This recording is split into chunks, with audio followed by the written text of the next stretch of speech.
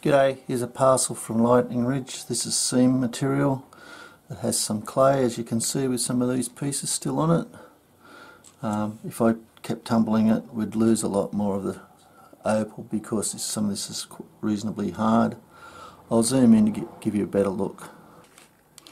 Okay, I've zoomed in. I'll just move around the parcel so you can see. Don't forget you can stop it at any time. The rule's in millimetres. I haven't moved any of the pieces in relation to each other.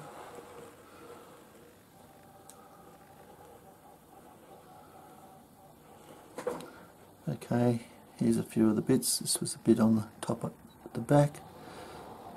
Quite nice colour in that. May go in underneath that clay.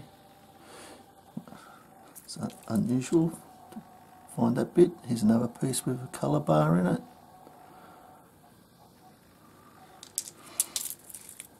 I'm not saying that all these have got colour.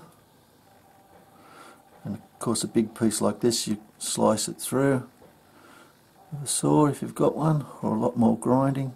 Oh there's a colour bar there, look. This was sold to me cheaply. There's two colour bars there. Then of course there's lots of little bits and pieces.